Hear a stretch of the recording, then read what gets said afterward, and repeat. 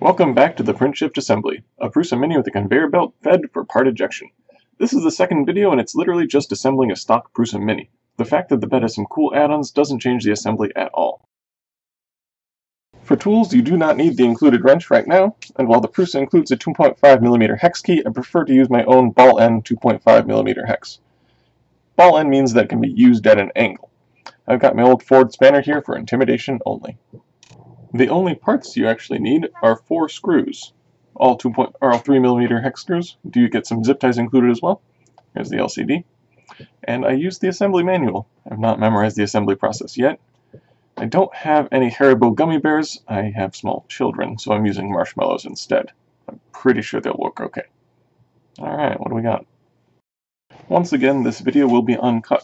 However, I will speed up some of the segments so that it doesn't become boring. The first step is to put the foam rubber feet on. We already did that in part 1 for the bed assembly so we wouldn't hurt the Y motor wire.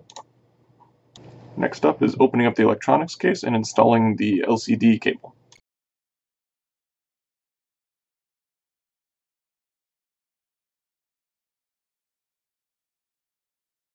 And the next step is joining the XZ assembly to the base. You need a 40 millimeter screw and a 20 millimeter screw for the first chunk. Get those guys in. And then you'll be screwing in from the top with, uh, I believe, a 12 millimeter screw. None of these screws should be put in tight as you're going to have to slide it into position before you're done.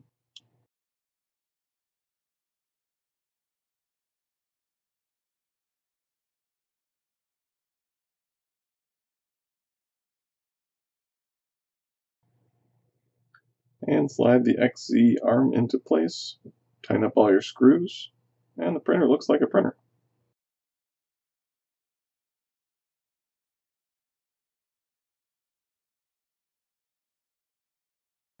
Gummy bear time. Finally. We're getting close to done too. Next up is the LCD mounting. It's just a single screw up in the front.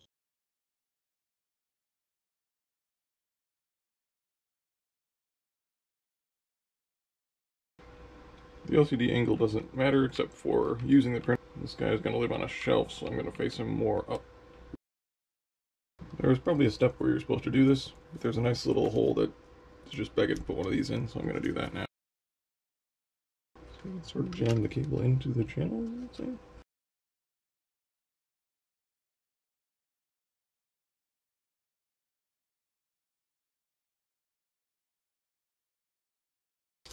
Velcro ties. So basically, instead of zip ties, you get something that's easy to put on and off again. Pretty sure this is a printer back on its feet. We're gonna plug in some more.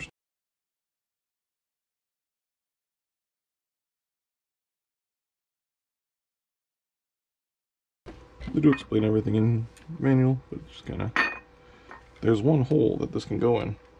guess what? It goes in that hole. You can see Prusa's buddy board. Not a lot of spare pins, and not a lot of documentation on it yet. So this heater and thermistor. These guys are coming in through the top of the box. There's no cable routing to do. Oh, and I'm just making sure everything else is tight and tidy. I do have the filament sensor. Insert him as well. There's one more port go in that port. Piece of filament to make sure that it slides nice.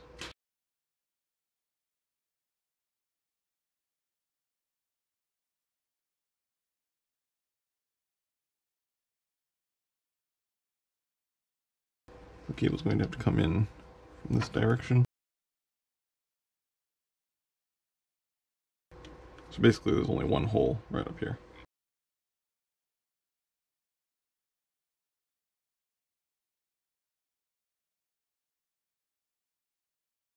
I'm going to cover it back up for you.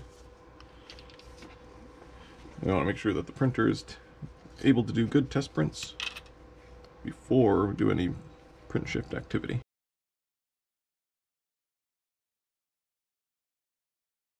So you have two channels for your cables to go out the back and one out the front. but having good cable management is worth the uh, extra fuss. Done 3D printers for quite a while, and the guaranteed killer is uh, bad strain relief on your cables. This way, all your cables have nice bends, the nice wrap. They will last a good bit longer. Still probably get cables that die eventually, because you're moving them back and forth, but doing the best, best they can. Oh, more gummy bears.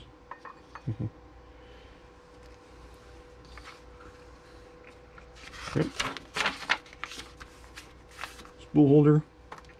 I'm just going to skip that for now.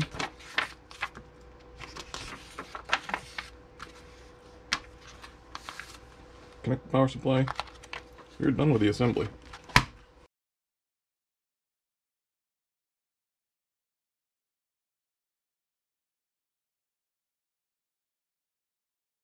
I'm going to power it up, see if I've done anything horribly wrong.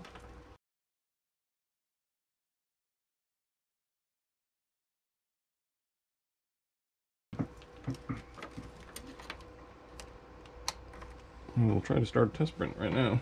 So you can tell that despite the changes we've made to the bed, it's just a Prusa. Just a Prusa Mini switch for my bench supplies so I can do experimental electronics here. Not that I do that, but yeah. Uh, where would I find PLA? Right here. Um, these are a little old school, but I just don't want to spend the time to build the filament spool holder. I Really don't like having the filament on the desk It's just too easy for it to get knocked off or messed with. Alright, I make English. Set wizard.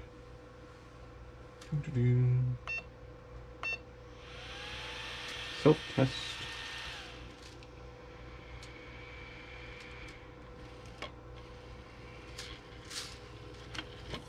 Always clip your filament before you uh,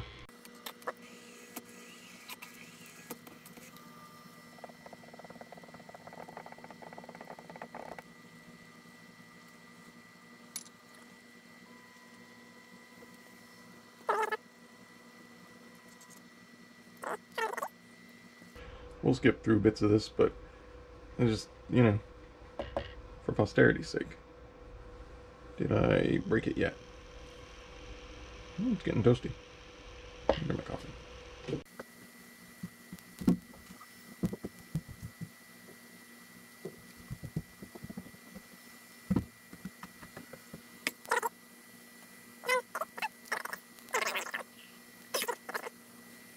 Oh, apparently we only heat to 60. All tests successful.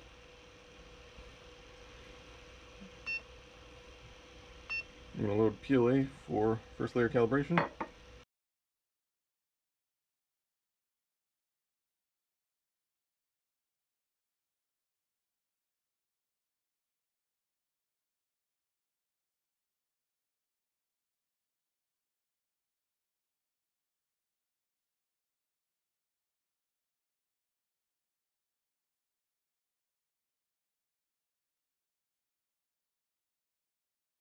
So Prusa uses a induction sensor.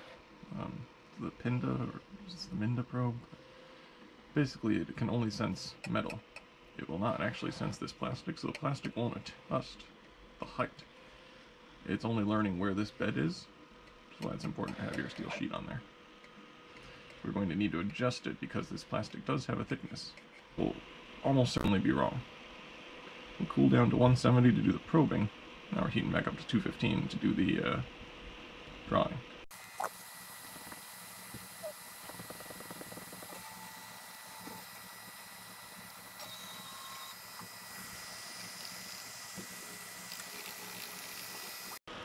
We're getting better stitching, better.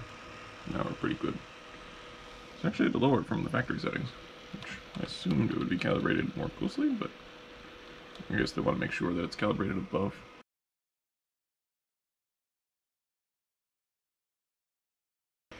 you get this whole trace to do your adjustment, so And in theory, because it did the probing before.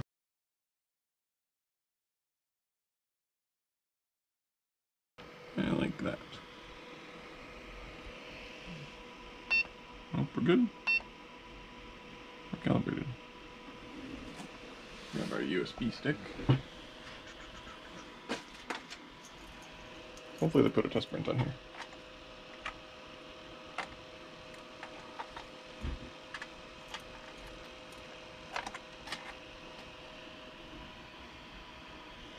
Test print.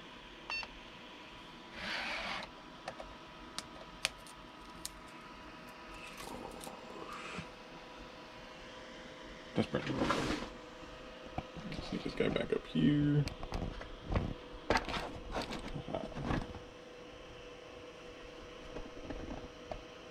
Guys, we're definitely going to speed up the test print. But there you go. Construction of the Prusa is what, maybe a half hour, if that. Construction, calibration, and test print.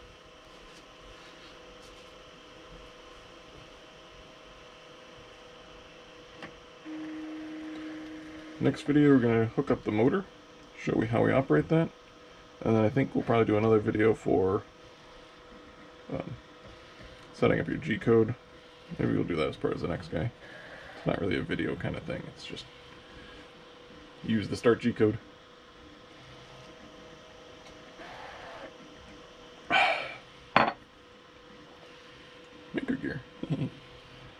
First hot end I got was from these guys. Back in the day when it was all clay. Good stuff. The printers are still really nice.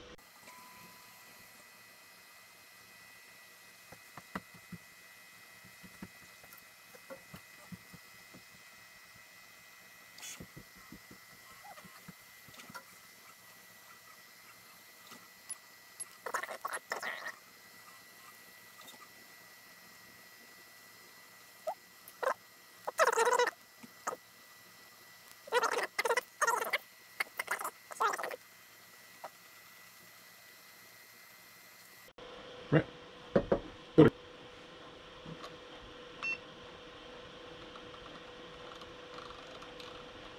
It's also sad on the uh, um, regular LCD, uh, your standard printer. Just spinning the knob makes her go faster. I wonder if there's a shortcut or something change the speed. Buck and a quarter.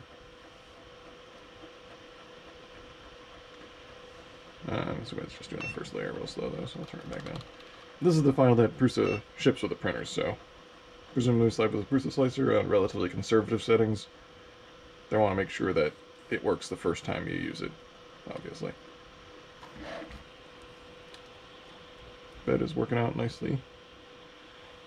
We have a little ripple at the edges. See that? That's because we haven't done any barbecue rolling. And I could actually break the print right now by turning the knob. Not really a knob, but kind of silly to do so.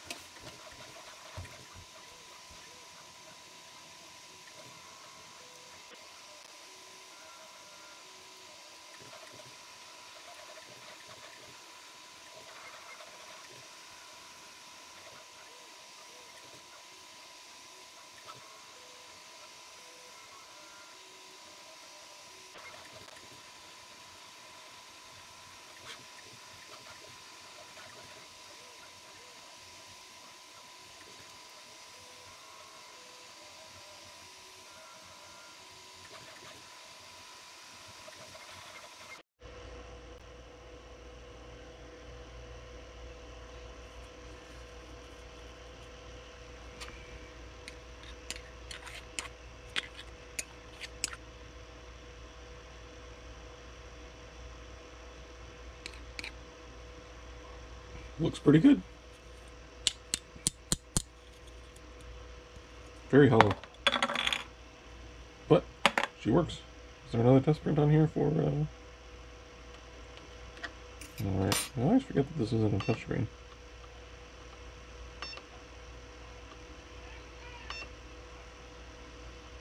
I'm gonna print the screw now. I'm not gonna record it because I want to get this video out, so.